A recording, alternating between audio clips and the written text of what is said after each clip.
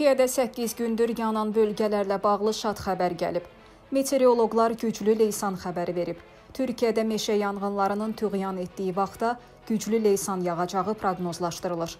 Yüksək temperaturun təsiri ilə söndürülməsi çətinləşən yanğınlarla əlaqədar Meteorologiya Baş İdarəsinin hava proqnozlaşdırma mütəxəssisi Abdullah Maciddən təsəlli verici xəbər gəlib.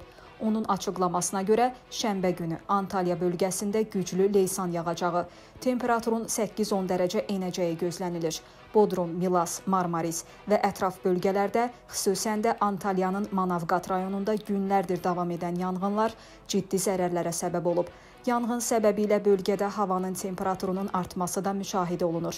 Temperaturun yaxın günlərdə enməsi və gözlənilən yağışın yağması yanğının təsirinin azaldılmasına kömək edəcəyi gözlənilir. güvenlidir.